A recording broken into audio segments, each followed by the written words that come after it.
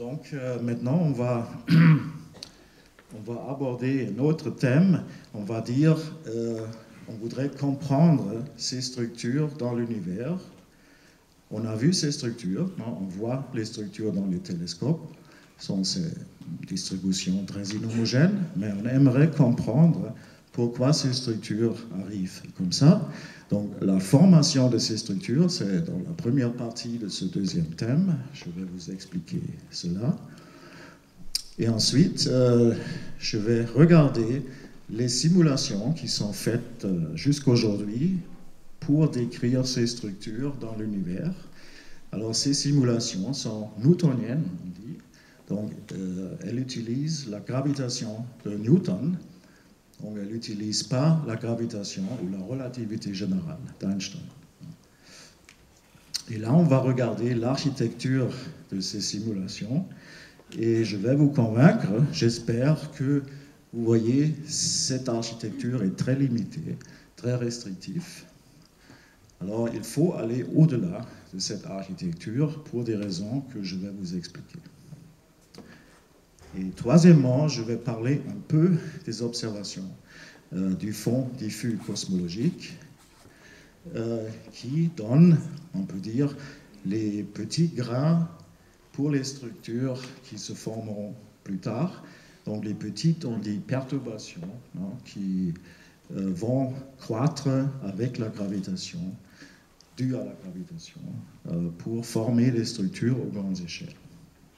Donc ça, c'est le plan pour le deuxième thème. Et je vous montre d'abord une, image typique qui n'a pas changé depuis 20 euh, ans à peu près. Donc les gens font des simulations euh, dans la gravitation de Newton de l'univers. Et au fond, en bleu, vous voyez une simulation typique avec euh, la gravitation de Newton. Donc vous voyez la structure cellulaire. Qui ressemble un peu à la structure euh, qu'on a vue dans l'univers, euh, dans les galaxies. Euh, en rouge ici, c'est aussi une simulation, mais sans gravitation. Donc c'est intéressant qu'on trouve déjà des structures à nid d'abeille, des structures cellulaires, dans une simulation où on n'a pas même la gravitation. Et ça, c'est important pour vous expliquer la formation de structure. Donc, c'est ça ce que j'appelle la formation inertielle.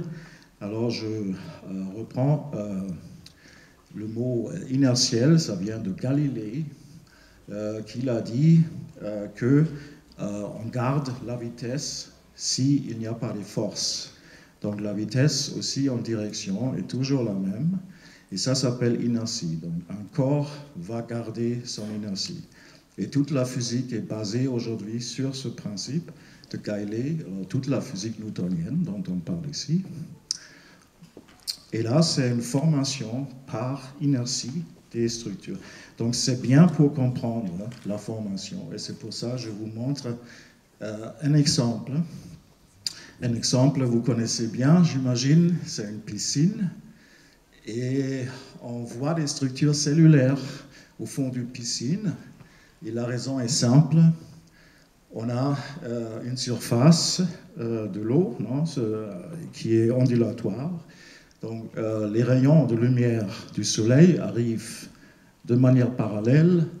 Ensuite, on a une diffraction de ces rayons et quelques rayons vont converger vers un point. Donc ils vont se rencontrer à un endroit au fond de la piscine. Et c'est ça euh, qui donne ce qu'on appelle les caustiques, donc euh, les structures avec une haute intensité de la lumière. Et il y a aussi des autres régions vides. Ce qui est intéressant avec cet exemple ici, c'est de dire si le profondeur euh, n'est pas, n'est pas assez, par exemple, si vous parlez d'une piscine d'un mètre peut-être, un demi-mètre, vous ne voyez pas ces structures parce que les rayons n'ont pas encore eu la chance pour se rencontrer. Et ce qui est aussi intéressant, si on a une profondeur plus grande, ce qui se passe ici, c'est les rayons de lumière convergent, mais ensuite, ce sont les lignes étroites, ils vont diverger encore une fois. Ça veut dire si la profondeur est trop grande, on ne voit plus les structures aussi. C'est juste une, certaine profondeur où on peut apprécier euh, ces acoustiques. maintenant, en parallèle avec l'univers, qu'est-ce qu'on a ici? On parle du temps, alors on ne parle pas du profondeur ici, mais le rôle est joué par le temps. On a euh, alors des conditions initiales, on dit, des petites perturbations sur un fond homogène. Alors vous pouvez imaginer un modèle standard qui est homogène et pour former des structures, il faut des petites perturbations sur ce fond. Et là, on parle des particules avec une masse. Alors, on parle ici des vitesses des particules qui sont un peu perturbées. Ça veut dire qu'il y a des vitesses qui vont mener à une convergence des particules massives pour ensuite créer une densité élevée à un certain temps. Donc c'est la même physique hein, qui produit des structures qui s'appellent caustiques, des structures à haute densité. Et phénoménologiquement, on est content parce que ça donne vraiment une structure cellulaire. Donc cette image n'est pas bien projetée. En fait, on voit, euh, si on voit l'image mieux, ça donne exactement aussi les petits détails entre, entre ces euh, régions haute densité.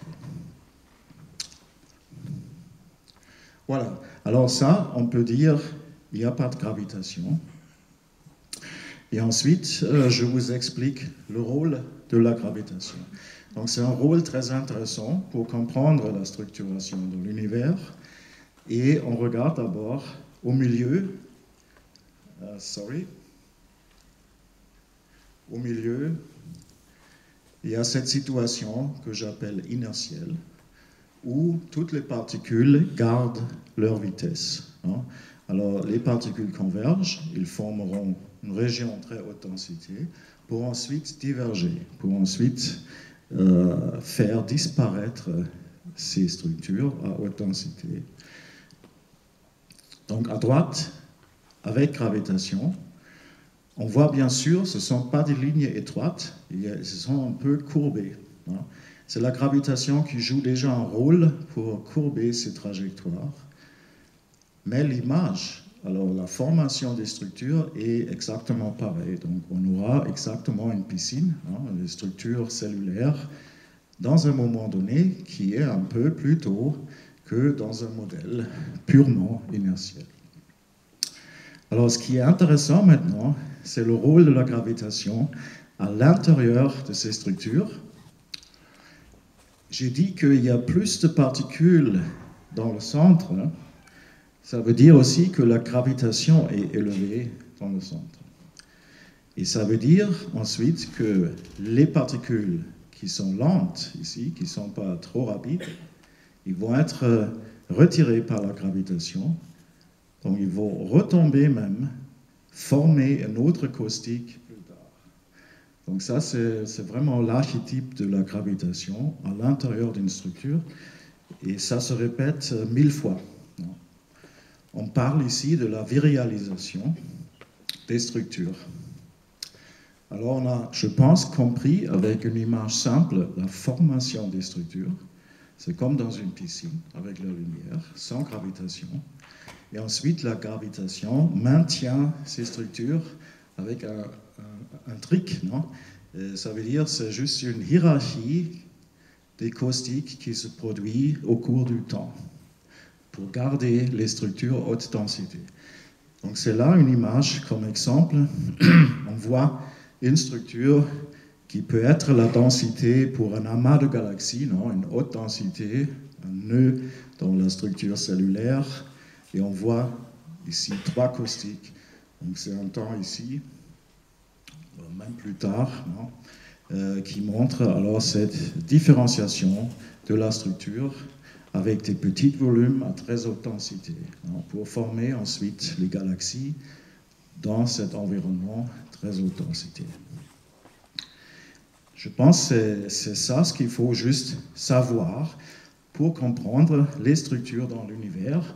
Et on peut, avec ce savoir, maintenant regarder les observations et on peut bien comprendre pourquoi euh, cette distribution montre des amas, des filaments, des murs de galaxies et des vides. Euh, ça, c'est un exemple d'une densité euh, créée par un modèle où les particules convergent vers un nœud là, à très haute densité qui va correspondre à cet amas de coma.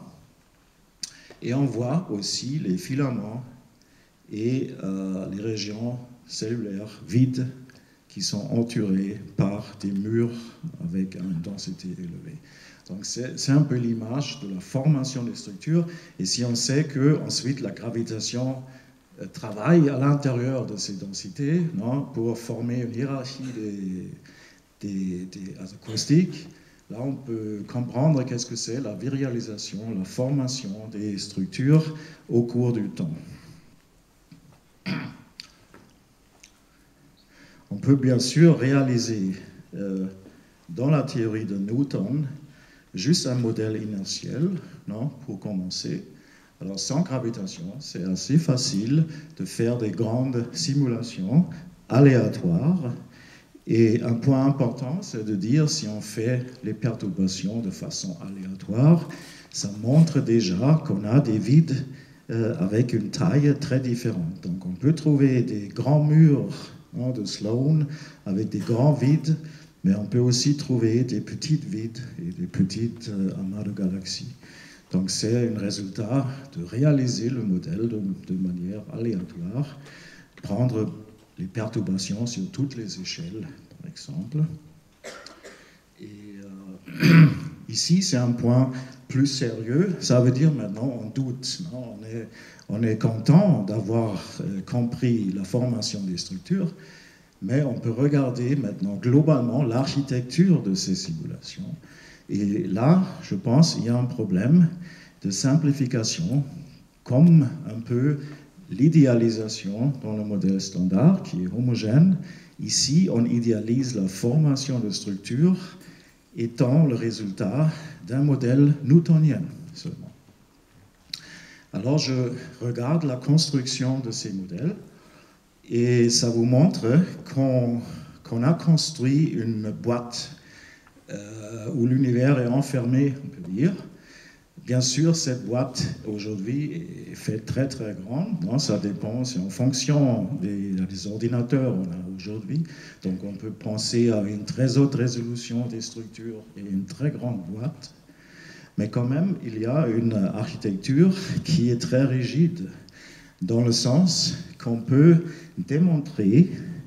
Alors, il y a un théorème que j'ai démontré il y, a, il y a 15 ans maintenant déjà, qui dit quelque chose qui n'est pas euh, bien pour ces simulations, parce que si on regarde ces structures, et en moyenne sur les structures, on trouve nul. Ça veut dire tous les aspects de ces structures s'annulent sur la boîte. Alors, autrement dit, si je vois une surdensité ici et une sous-densité dans le vide, ça se compense exactement.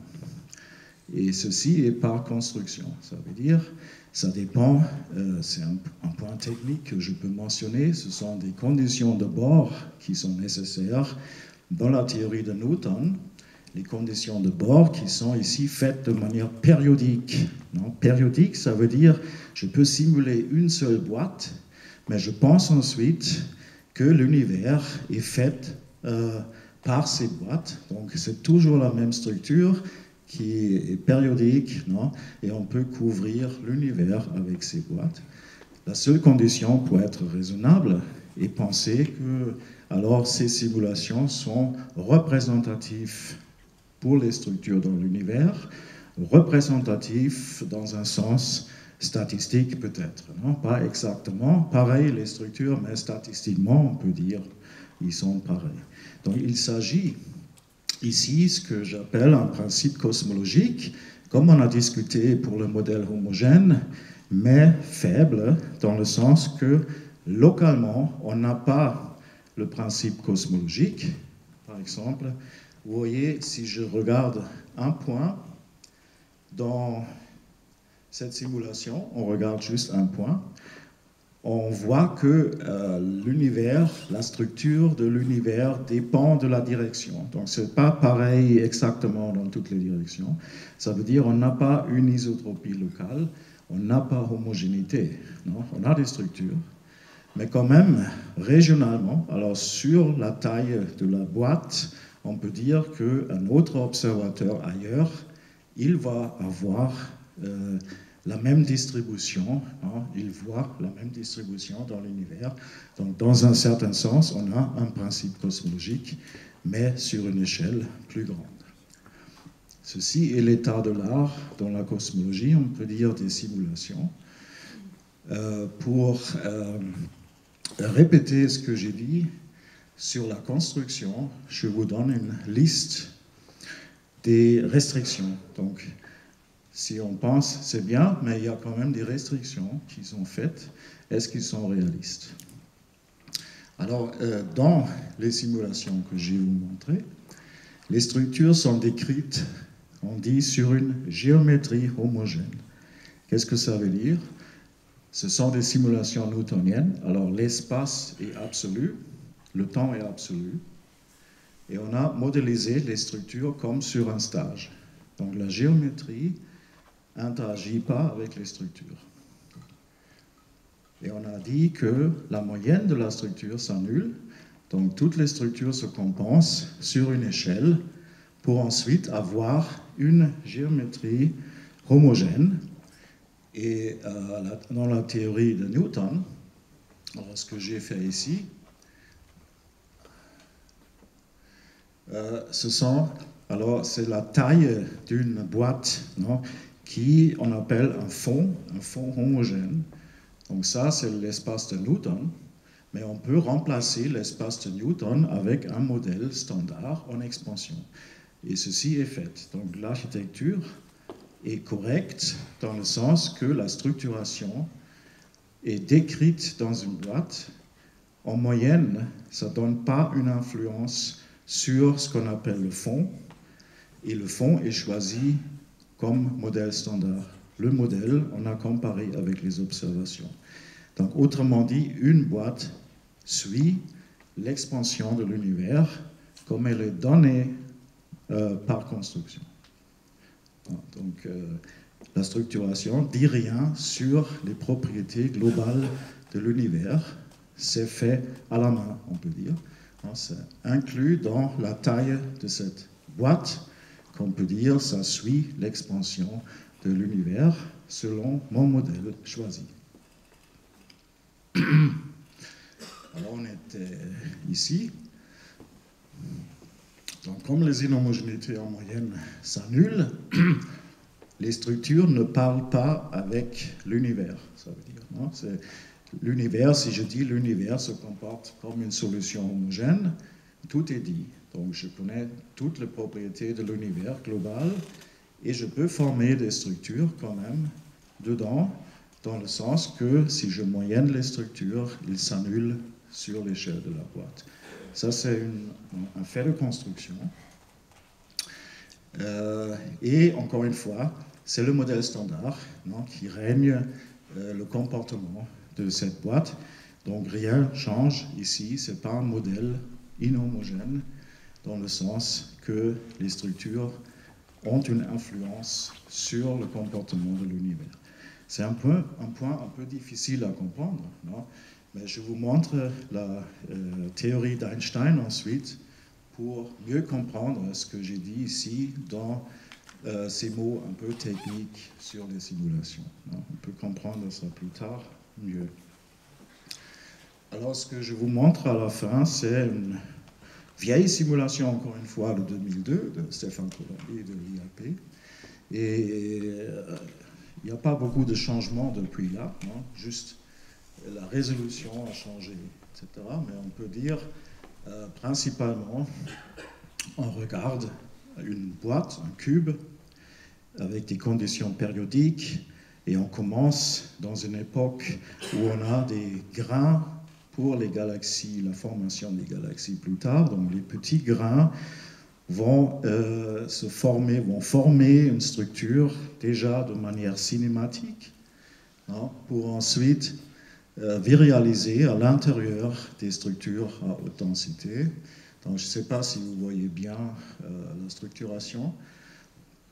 Là, on voit un moment très tard dans l'univers, c'est même le futur, ces conditions initiales ont été faites avec euh, un modèle un peu différent que le modèle préféré aujourd'hui. Et c'est pour ça l'univers aujourd'hui est plus jeune que cette simulation, qui montre que la gravitation commence à jouer un rôle aussi sur les grandes échelles. Et euh, la gravitation déforme la structure cellulaire euh, plus tard. Donc, c'est un, cube, une partie de l'univers comme elle est simulée aujourd'hui, avec les conditions euh, que je vous ai expliquées. Alors, un mot sur le fond diffus cosmologique. Euh, c'est une des observations très détaillées qui sont fournies par le satellite Planck et on regarde ici une époque très tôt dans l'univers. Alors si je suis dans le point de vue du modèle standard, avec un Big Bang,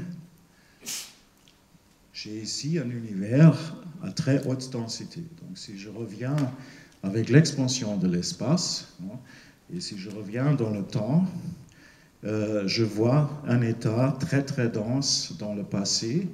Donc l'univers était opaque, la lumière pourrait pas échapper. Non? Et si je euh, fais une expansion ensuite, euh, la lumière a eu la chance, à un moment donné, pour échapper. L'univers n'est plus opaque et la lumière, euh, à partir de ce temps-là, va transverser l'univers vers nous. Et ce qu'on observe aujourd'hui, c'est un rayonnement presque totalement froid, un rayonnement qui est euh, isotrope, alors dans toutes les directions de l'univers, on voit la même température de cette radiation, mais on voit aussi des très petits grains euh, dans ce fond diffus cosmologique, les petits grains qui, sont, qui donnent alors les conditions initiales euh, pour ces simulations. Alors, le modèle standard marche très bien dans ces aspects. On, observe le fond diffus cosmologique, on peut l'analyser avec les données de Planck, avec beaucoup des hypothèses derrière quand même. Et ensuite, on peut simuler euh, l'augmentation de ces petits grains pour ensuite expliquer la formation des structures aux grandes échelles, les galaxies, etc. Donc ça, c'est un scénario. Normalement, on montre une image comme ça pour la cosmologie et ce qui est avant euh, le fond diffus cosmologique, c'est un peu plus spéculatif. On parle de l'inflation et des autres choses. Hein. Mais un point intéressant ou important, je voudrais vous expliquer ici. Alors si je dis j'ai un modèle que je compare avec les observations, ce qui est fait est on prend les données de la distribution des galaxies. Ça, c'est presque aujourd'hui. Donc on est ici à droite et on prend les données de Planck pour le fond diffus cosmologique, mais c'est une époque très tôt. Alors les gens comparent quand même ces deux données pour conclure sur l'énergie noire et aussi la matière noire. Donc c'est ça ce qui, est, euh, qui dépend du modèle, parce qu'il me faut un modèle qui fait la connexion entre les données ici et les données de Planck euh, dans une époque très tôt. Et pour connecter, il faut un modèle. Autrement dit, l'interprétation des données déjà dépend du modèle pour ensuite confirmer le modèle. Donc euh, c'est un danger, non? Le modèle standard est utilisé pour interpréter les données déjà, euh, pour ensuite choisir le meilleur modèle standard. Alors vous pouvez imaginer ce que je voudrais faire, c'est de changer le modèle. Je vais vous expliquer ça en détail. Et si je change le modèle, je dois aussi euh, réinterpréter toutes les observations déjà faites. Parce que je ne peux pas interpréter les données sur la base du modèle standard. je change le modèle, ça ne suffit pas. il faut aussi changer l'interprétation des données actuelles. Donc c'est un gros travail à faire. Et on a commencé quand même. Alors, euh, juste pour faire un résumé sur euh, les postulats du modèle standard, donc euh, il y a des sources noires postulées. C'est un résultat de la comparaison des données très tôt dans l'univers, très tard dans l'univers, connectées avec le modèle standard. Et ce résultat montre qu'une très petite fraction est la matière connue, donc les baryons, la radiation, les neutrinos massifs. Mais la plupart est donnée par des sources noires euh, qui ne sont pas encore trouvées. Donc on a un cocktail, disons, présenté, un prix à payer, dont on ne connaît pas le contenu de ce cocktail, mais on sait que le modèle marche très bien. Alors on a un modèle qui fonctionne, mais le prix à payer, c'est les sources noires. Donc euh, ce n'est pas satisfaisant pour moi, pour une cosmologie physique, et aussi pour les autres gens. Euh, il y a quand même des solutions proposées pour résoudre ces énigmes. Alors une solution, c'est bien sûr d'aller chercher les sources sombres dans les expériences. Il y a beaucoup d'expériences en route pour trouver ces champs fondamentaux, les nouvelles particules, on n'a pas encore trouvé. Ces expériences sont utiles pour les autres choses. On trouve peut-être une autre chose que la, matière noire. Donc les expériences sont très utiles, mais quand même, peut-être on ne trouve jamais des, particules qui jouent le rôle de la matière noire et des gens, champs fondamentaux qui peuvent jouer le rôle euh, de l'énergie noire. Alors, il y a, pour cette raison, il y a des gens qui disent Einstein, les équations d'Einstein sont fausses, peut-être. Il faut modifier la gravitation. Ça, c'est très courageux de dire, non parce que Einstein, c'est une théorie très bien testée. Euh, sur les échelles, on utilise euh, les équations d'Einstein. Et alors de dire c'est un problème de la théorie d'Einstein, c'est aussi pas très logique parce qu'on a regardé qu'une solution très simple des équations d'Einstein. Donc ce n'est pas identique, la solution très simple et la théorie d'Einstein. C'est une théorie très très riche. Alors c'est un peu euh, rapide non, de conclure, parce qu'il y a des sources sombres, il faut changer les lois de la gravitation. Mais c'est une grande communauté de chercheurs qui font ça. Donc, euh, il y a des raisons aussi dans ce champ de recherche pour généraliser la gravitation d'Einstein. Donc, c'est aussi utile de regarder au-delà de la théorie classique, euh, éventuellement la théorie quantique. ce sont toutes les choses intéressantes. Mais pour résoudre les énigmes noires, je pense il y a un chemin beaucoup plus simple à faire. Et euh, c'est la troisième direction de recherche que je suis c'est euh, que je suive, non C'est la généralisation du modèle cosmologique. Donc simplement, le modèle, je pense, est trop simple. Et il faut généraliser ce modèle au sein de la relativité générale. Donc on ne change pas les lois de la gravitation et on ne cherche pas euh, l'existence des champs fondamentaux pour les sources noires. Donc c'est dans ce sens très conservatif. On garde la théorie, on ne cherche pas des choses exotiques, mais on regarde le modèle, est-ce que ça suffit? Est-ce qu'on peut généraliser le modèle simplement? Comme dans les autres disciplines de la physique, on regarde le modèle, Est-ce qu'il est bon ou non? Alors là, je vous propose de généraliser le modèle dans la troisième partie, mais tout d'abord un petit résumé de la deuxième partie. Donc je pense on, a pouvoir comprendre, on peut comprendre la formation des structures aux grandes échelles euh, simplement avec euh, l'inertie de Galilée. juste je garde une vitesse dans la théorie de Newton et je forme une structure cellulaire qu'on voit dans l'univers.